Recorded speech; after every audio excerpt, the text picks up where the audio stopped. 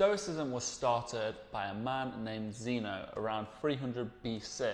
I believe he was born 334 BC um, in Citium, Cyprus. So we call him Zeno of Citium. And Zeno was a wealthy merchant, and his ship was shipwrecked. He lost everything. He washed ashore in Athens, where he walked to a bookstore, went into the bookstore, and read Xenophon's Memorabilia um, and he was so fascinated in Socrates that he said to the owner of the bookstore, um, Where do I find men like Socrates? And just as he said this, fate happens to be that Crates is walking past, and he was the most famous cynic at the time. And the bookstore owner says, That's a man like Socrates.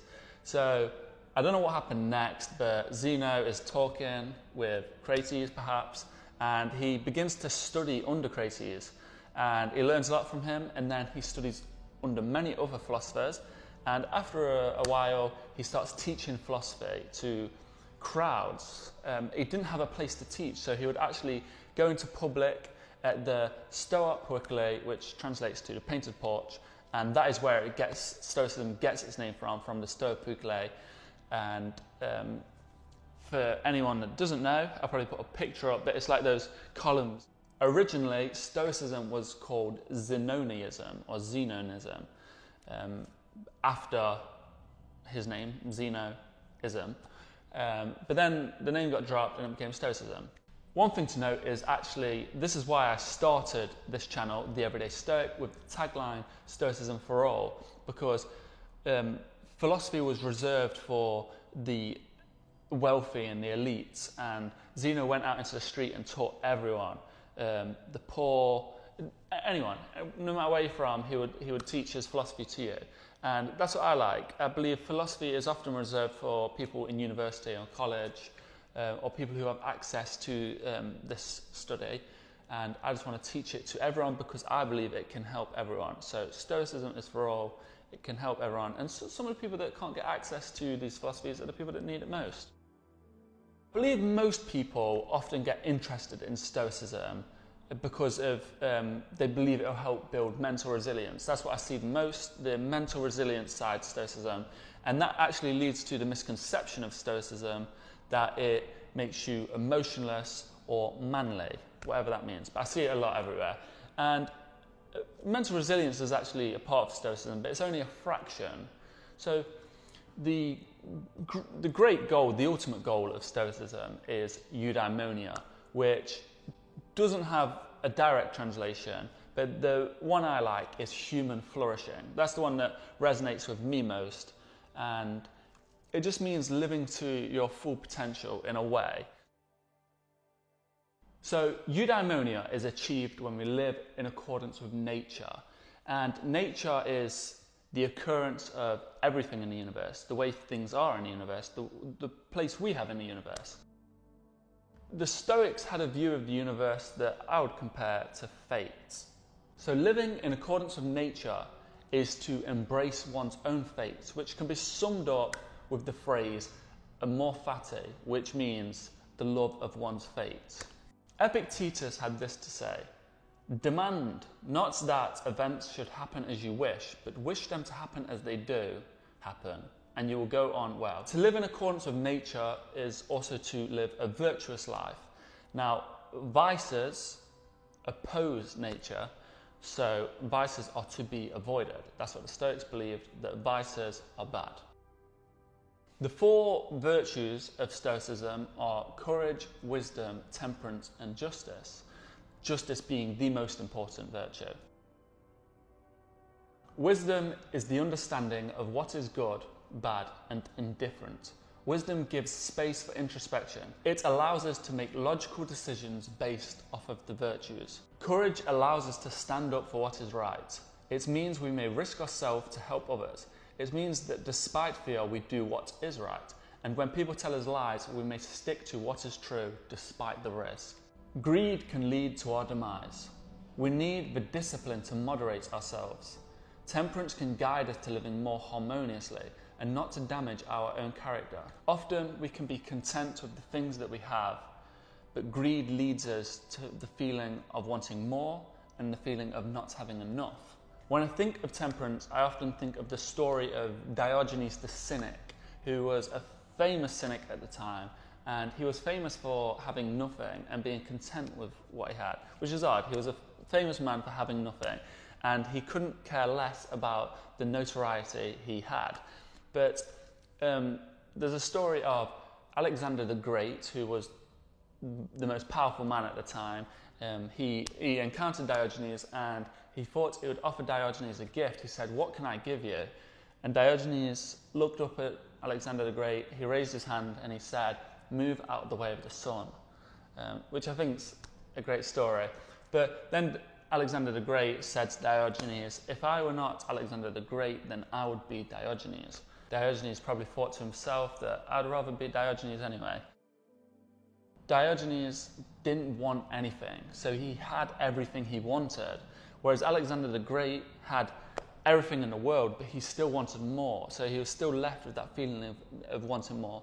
And although it's an extreme case, temperance can help us live within moderation and um, not to live within excess and, and, that feeling of wanting more, um, which I, I think is very important. The last and most important virtue is justice. Justice means we don't live in a manner that hurts people and we strive to help others where we can.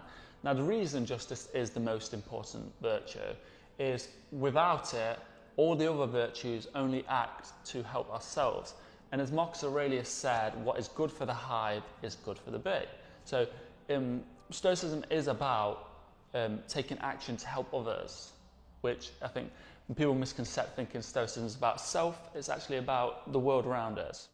So we live virtuously in accordance with nature. That is the goal. So in the Meditations, Marcus Aurelius had this to say Don't ever forget these things the nature of the world, my nature, how I relate to the world, what proportion of it I make up, that you are part of nature and no one can prevent you from speaking and acting in harmony with it, always. So, what I like about Stoicism is that the ultimate goal is achievable by, achievable by everyone. Similar to nirvana in Buddhism or mukti in Sikhism, anyone can attain it by following this guidance. I think it's great that Marcus Aurelius, who was the most powerful man at the time and one of the most powerful men in history, and Epictetus, who was a slave, are both aiming for the same goal of eudaimonia. And that makes them equal. It makes them, their, their character is equal. What, what is considered the most important principle in Stoicism is the dichotomy of control. It's a very simple concept and it can be understood very quickly. But once you understand it, it can really help change your life actually, almost instantly. Epictetus had this to say the chief task in life is simply this to identify and separate matters so that I can clearly say to myself which are externals not under my control and which have to do with the choices I actually control. So, simply put, some things are within our power, others are not. Within our power, opinion, motivation, desire, aversion, and in a word, whatever is of our own doing, not within our control our body, our property, our reputation, office, and in a word, whatever is not of our own doing. What the dichotomy of control does for us is in this world, when there's so much noise from social media, from the news, from everyone around us, um, it fills our heads with all this noise, and we have so much worry and anxiety about things outside of our control, such as what this celebrity is doing, or what this friend is doing, or even just the rain outside. We can't control these things and it can really get us down. Whereas if we understand this is out of our control, then we can begin to focus on what's important and what is within our control. It, it just makes things seem a little clearer and it really helps move us towards progress at least for me and many other people that I've heard from. So, the way I like to see it is that Stoicism teaches us that we can view our emotions and events like a stream passing by. You know, Stoicism helps us stand on that bank, whereas normally we're stuck within the stream and the current and it's washing us about and everything's a bit of a blur. Um, but as we stand on the bank and with wisdom, we can view these events, and some that provoke us, we can view them without bias. We can take a pause for reflection and then develop the right response instead of just reacting like that, like an animal. And that's another thing about nature is that hum- human nature is that we have this introspection, we have this wisdom, so we can act upon that. Animals are more reactive, they react in anger. Um, they don't think about the consequences like we do. Between stimulus and response, there is a space. In that space is our power to choose our response. In our response lies our growth and freedom. So, this was said or written by Viktor Frankl, who was an Austrian neuroscientist, a psychologist, and a Holocaust survivor. He wrote possibly my favorite book, Man's Search for Meaning, which I recommend to everyone. Understanding the dichotomy of control has really helped me see life from a different perspective. That when these events happen to us, we don't have to become victim to them. We can actually change our perspective and see things as a lesson. Rude people can be a lesson for patience, which carries on into our life. Um, traffic can be a lesson, another lesson for patience. Or, or some challenges become a lesson for courage. It, we can develop our courage from this challenge. And as Ryan Holiday said, the obstacle is the way. So that's what I like to see things. That's how Stoicism has helped change my perspective, is that problems can often become a lesson for us. It's just a small perspective change that's really helped me become a calmer person. Rather than letting a rude person ruin your day, you can think back to yourself and go, I developed a lot of strength of character and patience because that person challenged me. A popular phrase, one of the most popular phrase in Stoicism is memento mori. It roughly means remember that you will die or remember your mortality. Stoicism teaches us one of life's most basic facts is that we will die other people will die, and nothing lasts forever. So death makes our lives meaningful and important. It creates priority and gives perspective to focus on what is important in our lives. It creates that urgency to live our lives. So most people are crippled by the thought of death, and it actually holds them back from living. Memento mori also relates to belongings that we won't have these things forever, so don't become attached to them. And as Mike Skinner from the street said, everything is borrowed. It's this attachment that makes the thought of losing something so bad, or the act of losing something even worse. If someone's favourite mug broke, someone you didn't know, or someone at your work, the favourite mug broke, it wouldn't upset you. If their favourite shirt was ruined in the wash, it wouldn't make you angry. If their car was keyed, it wouldn't make you angry. It's your attachment to your favourite mug, or your favourite shirt, or your car that evokes this emotion. So the Stoics like to believe that you can separate yourself from that, that you just see it as a mug, a shirt, a car. And when you break your favorite mug, you can just get another mug. So there are many popular exercises that we can do in Stoicism. Um, I won't go over all of them, but a very popular one that many people have heard of is negative visualization. And what negative visualization can do for you is actually make you a calmer person. It can reduce anxiety and it can create gratitude for the things you have. So, negative visualization is to imagine a bad thing happening to you.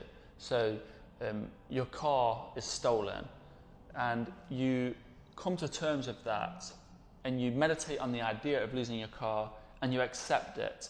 And when you come out of this meditation or by meditation, I just mean sitting there thinking about this. When you come out of it, you actually develop a gratitude for your car, you have your car, but also it prepares you for the day that you will lose your car. Um, people do this on the thought of death, their own mortality, or the death of a loved one. Um, this can help create gratitude and a sense of urgency to appreciate life and appreciate the things that you have. Um, I don't actually recommend it to everyone as it can lead to rumination and overthinking and it can cause distress. But if it's something that sounds interesting and I'm, i know it's created gratitude for me, it's worth giving it a try. There are three big names in Stoicism that is good to know. Is Marcus Aurelius, Seneca, and Epictetus.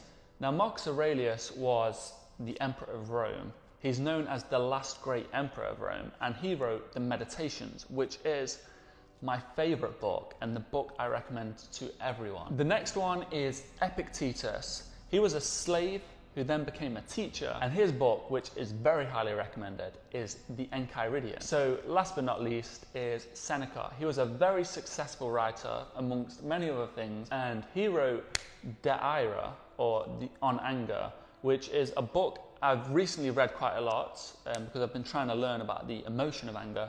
It, the book's all about anger, and it really changed my perspective on the emotion. And I remember when I first learned in Stoicism that anger is bad, I had a lot of rebuttals and a lot of arguments to oppose this opinion. But after reading De Ira, um, I can say that anger is uh, very bad. It's really helped me become a calmer person, more, more peaceful, and, and also to understand my emotions better. Today we have authors like Massimo Pigliucci, Ryan Holiday, and Donald Robertson that are doing wonders in Stoicism. They're writing great books. They're also putting out great content online if you want to check that out. And the great thing about these free authors is most of their content can be found online for free. I'll put their names in the in the description where you can find them because they have great content. I love to listen to a lot of their podcasts, and th- that's probably my favorite thing to do is listen to podcasts. To summarize, Stoicism is a practical philosophy which helps guide us in life to not only be better, but to feel better and to live better, to worry less and be more compassionate, through Stoicism, we can help make the world a better place. And as Aurelius said, I said this quote earlier on, what is good for the hive is good for the bee. So hopefully you have a brief understanding of Stoicism. Very brief, but it's probably enough to talk to someone about Stoicism. And also, when you go over to my Instagram, The Everyday Stoic, um, you have a better understanding of when I post certain lessons, certain quotes, um, you have a better understanding of where they are coming from and they might have a bit more impact on you. Yet hopefully you'll rec- check out the books that I spoke of as they are a very good gateway into Stoicism, especially the meditations, which was my initial introduction in Stoicism. So I highly recommend it. So I'll be releasing many more of these videos going in depth on Stoicism. Um, so please feel free to subscribe as I will be posting many more of these and going way more in depth on many concepts you've heard today, um, go more in depth on individual Stoics such as Musonius Rufus, um, Marcus Aurelius, Seneca, Epictetus. I'll go way in depth on all of them, so you'll get to learn a lot more. I'll also be sharing my own personal views on daily life, coping, coping through daily life using Stoicism as a guide. Um, I'm doing many interviews with Stoics and with people that follow Stoicism, sorry, um, such as the ones that are already up with Ethan Suplee, Amy Morin, and Eddie Pinero, and also Master Shiheng Yi of the Shaolin Temple Europe. Thank you for watching. I hope you learned something, and if anything, head over to the Instagram and become part of the community. I like it when everyone's talking in the comments and sharing their ideas on Stoicism. I think it's awesome that I can go into the comments and learn about Stoicism learn new concepts or perspectives around the philosophy. It's just really great. So, thank you for your support. Thank you for watching. And thank you, Zeno, for creating this beautiful philosophy that I'm now sharing. So, have a beautiful day.